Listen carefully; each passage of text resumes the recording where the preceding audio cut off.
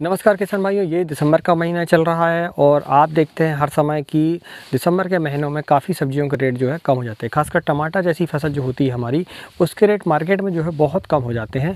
तो अब कम हो जाने के चक्कर में ये होता है दोस्तों कि हमें हार्वेस्टिंग करना, उसकी फर्टिगेशन करना और उसके लेबरों का खर्च निकालना भी बड़ा मुश्किल हो जाता है। कभी कभी देखने में ये आता है कि किसान जो है टमाटर की फ़सल को सड़कों पर फेंक के भी चले जाते हैं। यानी कि लगभग उनकी तोड़ाई की जो लागत होती है, जो फर्टिगेशन का जो उनका खर्च होता है और दवाइयों को जो खर्च होता है वो तक नहीं निकल पाता।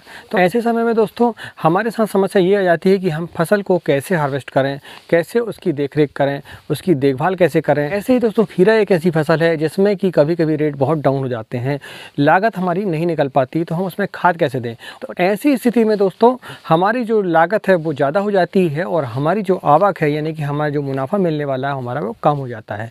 तो ऐसे हाल में हमें क्या करना चाहिए? कौन सी खाद देनी चाहिए, कौन सी दवाई देनी चाहिए और हमें किस प्रकार से हमारी फ़सल का मैनेजमेंट करना चाहिए, ये हमारे लिए बहुत कठिन हो जाता है। तो आज मैं इस वीडियो में आपको बताऊँगा कि यदि ऐसी स्थिति आती है कि आपकी जो खाद की लागत बहुत ज़्यादा हो जाती है और उससे जो हमें जो प्रॉफिट होने वाला है वो कम हो जाता है। तो हम जो है कुछ जुगाड़ करके जो है कुछ खादें हैं जैसे मैं आज आपको तीन ग्रेड के बारे में बताऊँगा जैसे तेरह ज़ीरो पैंतालीस तेरह चालीस तेरह और उन्नीस उन्नीस। ये तीनों खादों को मैं आपको बताऊँगा दोस्तों कि कैसे हम जुगाड़ के द्वारा यानी कि कुछ अपना दिमाग लगाना पड़ेगा हमें और हम उन खादों की कीमत को मार्केट में जो हमें उपलब्ध मिल रहे हैं, उनसे हम कम दामों पर अपने घर पर ही उनको तैयार कर सकते हैं। तो नमस्कार दोस्तों, मैं हूँ राकेश साहू, आप देख रहे हैं एग्रो जीवन बातें किसान की। बने रहे दोस्तों वीडियो में, मैं आपको बताऊँगा आज की इन तीनों खादों को कैसे हम इनकी लागत हम कम कर सकते हैं। दोस्तों, यदि आपको टमाटर के फर्टिकेशन शेड्यूल के बारे में जानकारी चाहिए तो चैनल पर जो है एक वीडियो उपलब्ध है, मैं इसकी लिंक आपको आई बटन पर दे दूँगा, आप चाहें तो उसको जाकर देख सकते हैं। तो चलिए दोस्तों, वीडियो को शुरू करते हैं और हम शुरुआत करते हैं तेरह ज़ीरो पैंतालीस से। तेरह ज़ीरो पैंतालीस में जैसे ही आपको नाम से पता चलता है कि इसमें तेरह परसेंट नाइट्रोजन होती है ज़ीरो परसेंट फास्फोरस होता है और चालीस परसेंट जो होती है इसमें पोटास होती है। तो यदि आप मार्केट रेट में उसमें लेने चाहते हैं तो, तो तेरह ज़ीरो पैंतालीस की रेट दोस्तों लगभग सौ रुपये से लेकर एक सौ बीस रुपये के जी आपको मिल पाएँगे किसी भी आप कंपनी के लेने थोड़ा बहुत ऊपर नीचे इसके रेट हो जाते हैं। लेकिन मैं आज आपको एक टेक्निक बताऊँगा जिसके तहत आप उसकी खाद की कीमत जो है बहुत कम कर सकते हैं। दोस्तों तेरह ज़ीरो पैंतालीस बनाने के लिए हमें दो चीज़ों की आवश्यकता होगी। एक तो यूरिया की आवश्यकता होगी और एक तो होगी पोटास। दोस्तों, पोटास की जब भी मैं बात करूँगा तो आप उसे एमओपी यानी कि वाइट पोटास जो होती है हमारी साठ परसेंट वाली, उसका ही आप इस्तेमाल करें। जैसे कि आप जानते हैं दोस्तों कि यूरिया में छियालीस परसेंट नाइट्रोजन होती है और एमओपी में साठ परसेंट पोटास की मात्रा होती है वाइट पोटास में। तो हम तेरह ज़ीरो पैंतालीस बनाने के लिए इन्हीं दोनों चीज़ों का इस्तेमाल करेंगे। तो जो नाइट्रोजन होती है हमारे, यानी कि यूरिया, उसकी जो कीमत होती है लगभग छः रुपये की। यानी आपको दो सौ सड़सठ रुपये प्रति बैग पैंतालीस किलो का मिलता है तो वो लगभग उससे जो रेट आते हैं, वो छः रुपये के जी आते हैं।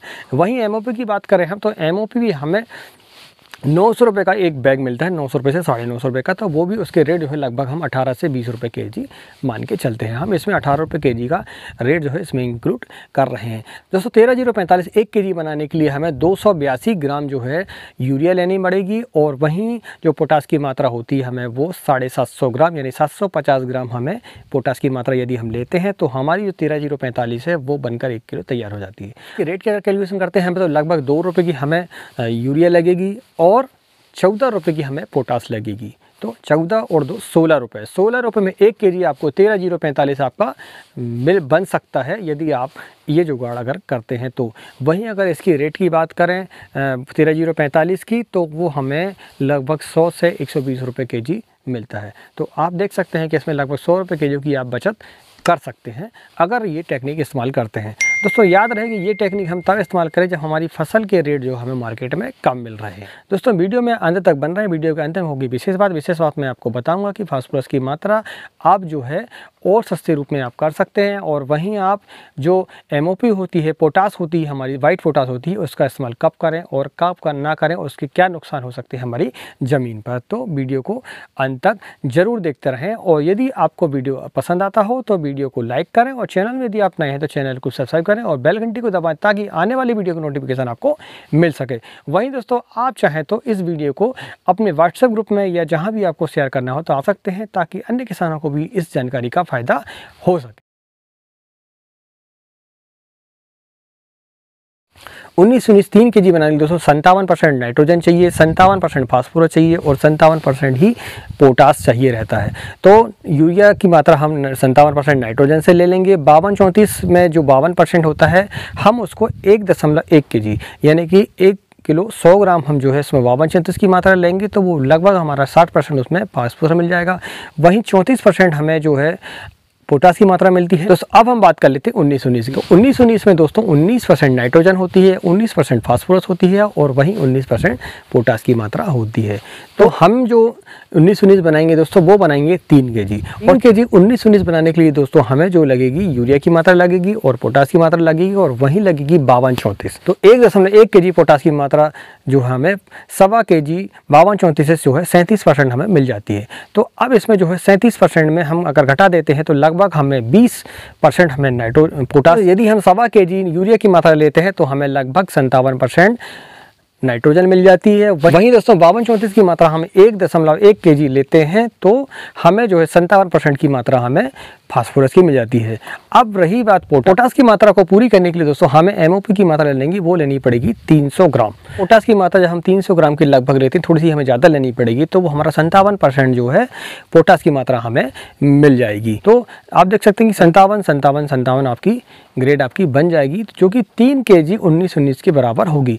अब हम इसके रेट कैलकुलेशन की बात करते हैं तो हमें जो बावन चौंतीस है, वो लगभग एक सौ के जी मिलेगी और यूरिया हमें छः जी मिलेगी और पोटास की मात्रा हमारी अठारह रुपये के जी होगी। तो अगर हम रेट की बात करें, दोस्तों, यूरिया हमें सात रुपये की लगती है, एक सौ चौवन रुपये की हमें बावन चौंतीस लगती है और सात रुपये की हमें पोटास मात्रा लगती है। तो अगर सौ अड़सठ रुपये की आपकी तीन के जी उन्नीस उन्नीस आपको तैयार हो जाएगी, जो कि छप्पन रुपये के जी पर हिसाब से आपको प्राप्त हो जाएगी। तो उन्नीस उन्नीस के जो एक के जी की रेट है दोस्तों, वो आपको छप्पन रुपये के जी मिल जाएँगे। तो वहीं अगर आप मार्केट में इसको लेने को जाते हैं तो कम से कम आपको पचासी से नब्बे रुपये के जी आपको उन्नीस उन्नीस मिलती है। तो आप देख सकते हैं दोस्तों की लगभग आधे रेट में आपको उन्नीस उन्नीस आपकी तैयार हो सकती है।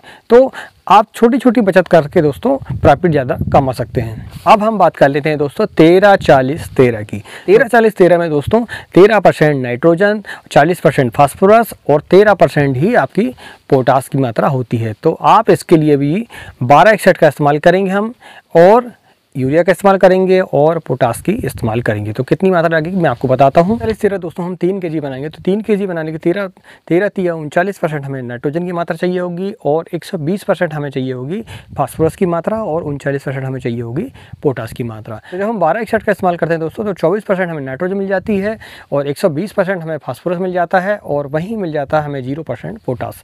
तो अब इसकी मात्रा हम कैलकुलेट कर लेते हैं दोस्तों। की मात्रा को पूर्ति करने के हम तीन सौ ग्राम यूरिया का इस्तेमाल करना पड़ेगा। तो हमें बाकी जो परसेंटेज है वो हमारा मिल जाएगा।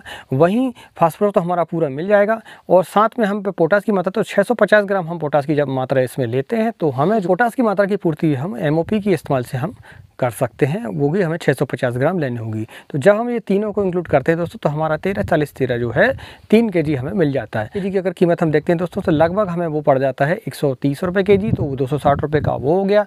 आपका दो रुपये की यूरिया आपको लगेगी और इसमें सोलह रुपये की जो है आपको पोटास लगेगी। तो इसका जब हम टोटल कैलकुलेशन करें दोस्तों, दो सौ अठहत्तर रुपये के लगभग हमें तीन के जी तेरह चालीस तेरह हमें प्राप्त हो जाती है। तो इसका अगर आप देखते हैं तो लगभग नब्बे रुपये के जी हमें तेरह चालीस तेरह मिल जाती है। यदि हम इसको मार्केट में लेने के लिए जाते हैं तो हमें जो है इसके जो रेट हैं वो लगभग एक सौ तीस रुपये से एक सौ चालीस रुपये के जी हमें मिलेंगे। तो यहाँ भी आपको तीस से चालीस रुपये के जी की आपकी बचत हो रही है।